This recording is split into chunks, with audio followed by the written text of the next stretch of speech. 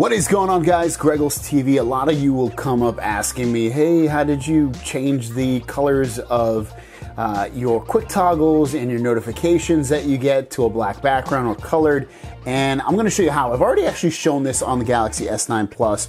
Uh, it's an app called Good Lock that you can download in the Galaxy Store. So I'm gonna show you directly again how I just kind of change these things. So let's get into it. first thing you wanna do is swipe up and open up Galaxy Apps. So open that up.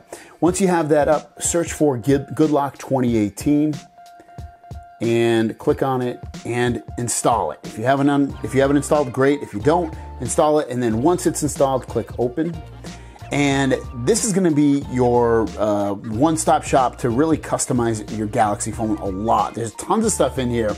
I'll actually link my video down below that I made on Good GoodLock 2018 um, a few months ago, uh, so in case you need to know how to use it. But otherwise, I'm going to show you the quick way that I was able to change a lot of this stuff. And where it is, it's right here. It says customize your special quick panel. So when you click in there, uh, you have a bunch of things in here. You have coloring, you have simple indicator, and you have notification multi-window. So click on coloring. And when you click on coloring, this is going to be where you can customize all that stuff. So you can either choose the ones they have for you that are recommended already, or you can go in here and go to uh, my coloring right here, and you can add a new one. And so hit the plus sign, and this is going to be right here what it's going to look like uh, once you edit it. So let's do a couple things in here. Let's go to color one, and we're going to choose a color that we want. Maybe we want when um, let's see, what is this thing? I believe this is when things are on. So apply color to unquick panel on. Okay, so when things are on, what color do we want it to be? Maybe we want it to be red, for instance. So we'll hit done after that.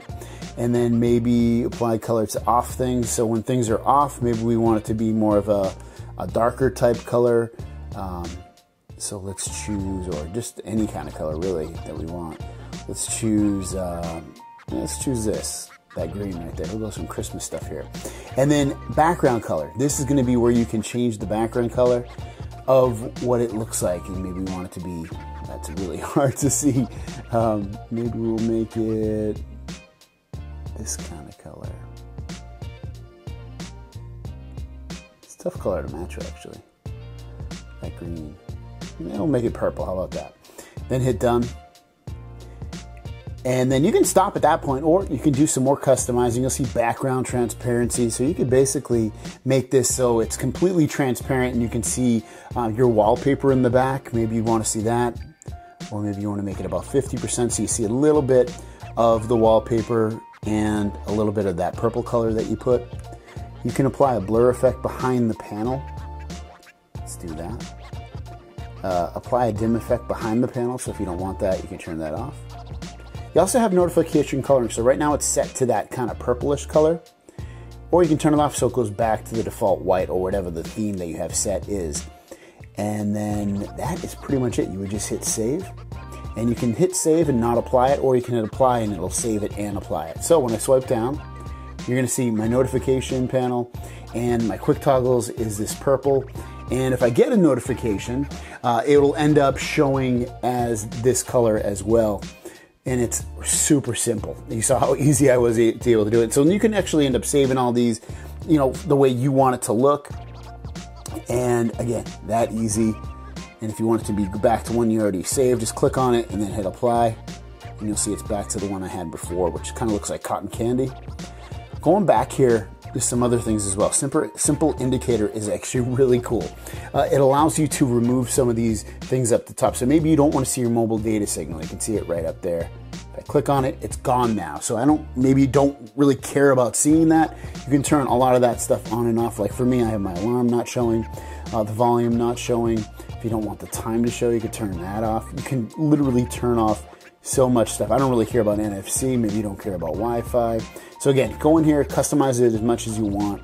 The other thing in here is notification uh, multi-window, which allows you to show notification multi-window in notification menu row when swiping notification. So kind of shows you what it is, but basically when you swipe, you'll be able to do some other things in there as well if you have that uh, turned on. And that's the QuickStar there. Uh, and when you want to install that, obviously, just make sure uh, that when you do, you're gonna have to, when you click on QuickStar for the first time, it'll say install. So just make sure you install that. I didn't mention that in the beginning, so make sure you do. Uh, the other cool one that I, I that uh, I is this one where it shows your recent apps, and you can see mine looks different probably than the way yours looks. Yours probably is up and down. Um, my recent apps are left to right, kind of the way that the new Android will end up doing it. And that's just task changer. So install that by clicking on it and you hit install.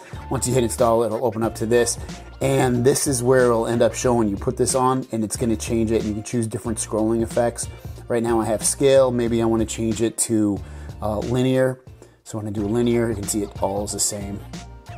So whatever you weigh, and the reason this is cool left to right is you can see the whole window rather than just a portion of it when it's up and down. And those are two of the, my favorite in here uh, things for Good Lock. But there's tons of stuff in there. I'll put a video if you want to know more about it. So thanks for watching, guys. If you have any questions or comments, leave them down below. I'll see you down the road. Peace.